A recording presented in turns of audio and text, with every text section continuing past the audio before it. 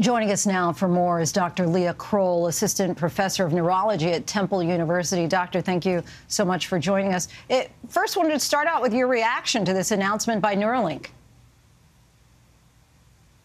Thanks for having me, Linsey. My reaction is one of hope and excitement. I mean, we have years before this pans out fully, but we're talking about having a medical miracle potentially within our grasp in the future you're a neurologist. In layman terms here, in theory, how does all this work?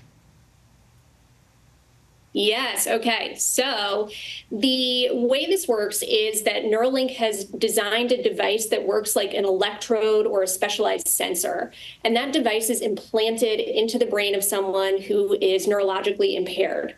Um, and what that device does is it reads the electrical signals that our brain cells are sending each other constantly and ultimately, those signals are translated into action outside of the body. So, in the case of Neuralink, those signals are being translated into the ability to control a computer or a phone.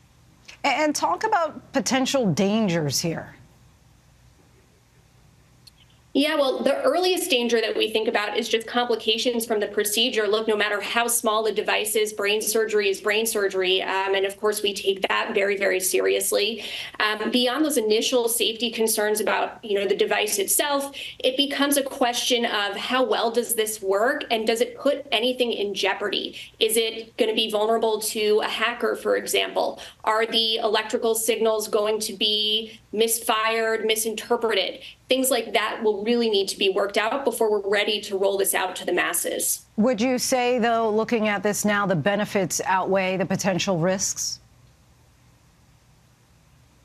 Yeah, I mean, listen, I, I, I need more information we're, we're starting with the first human clinical trial here for Neuralink. So I can't say for sure that the benefits definitely outweigh the risks for everyone.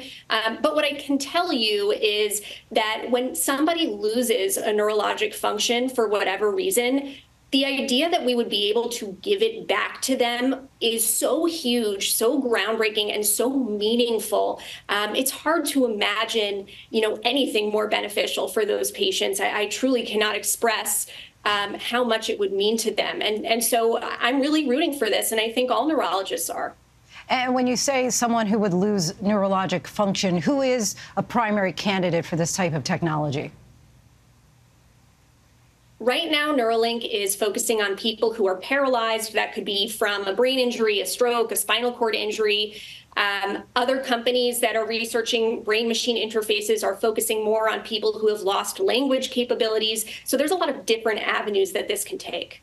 And talk about the timeline from now until the masses might be able to receive something like this. We're talking years. Uh, the Neuralink trial is set to go on for six years. Um, and so we'll see where we're at after that. But this is just the first trial. So I think we're talking about the foreseeable future. We're talking about within my lifetime as a physician, probably being able to use something like this to treat patients, but we're still years away. It really all is so fascinating and happening so fast. Dr. Leah Croll, we thank you so much for your time and insight. Thank you.